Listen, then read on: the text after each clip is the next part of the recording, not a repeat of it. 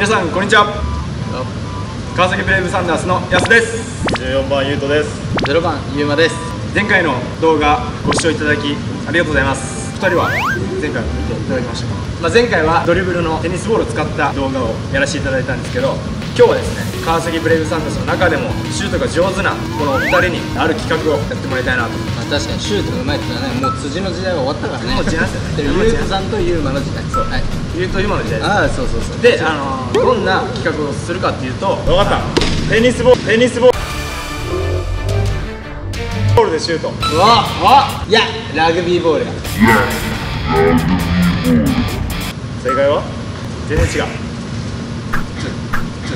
ちょっと黙ってくださいさあやってまあ、YouTube で目隠しバスケっていうのが流行ったんですよ。で結構面白い企画だなと思ったんですけど、まあ、正直プロの選手があれやったら簡単にひょって入っちゃうんじゃないかと思いましてこのお二人にチャレンジしていただきたいな。自信の方。いやまあ楽勝じゃないですか。ですよね。うん楽勝っす楽勝もうずっと目つぶってシュート打ってるからですよね。じゃあ2人には目隠しをしてもらったので、えー早速チャレンジしていきたいと思います。はいじゃあゆまさんお願いします。おい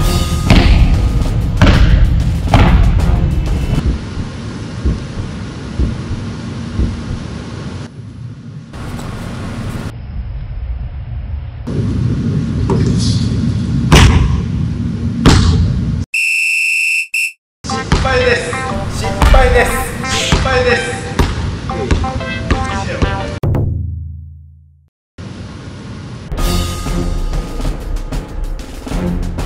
でゆうとさんとゆうまの時代楽勝じゃな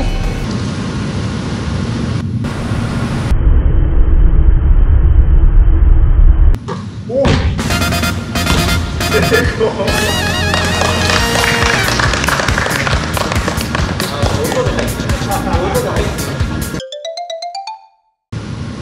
さん1本目お願いします。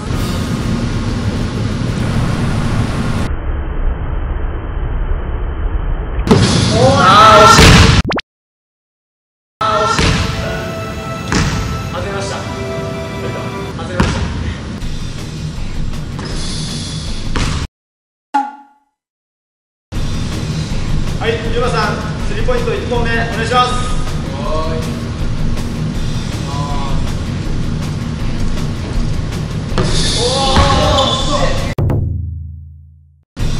じゃあ、ゆうさん1本目お願いします。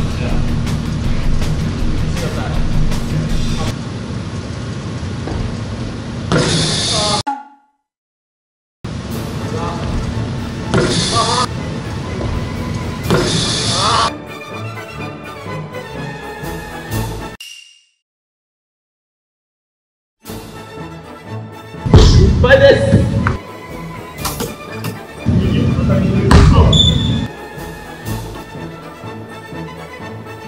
お、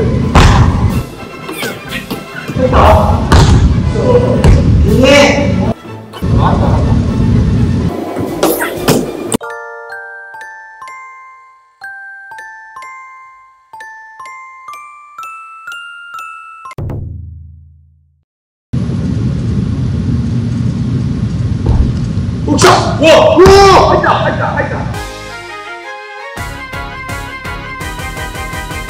入ったよ。入った、入った。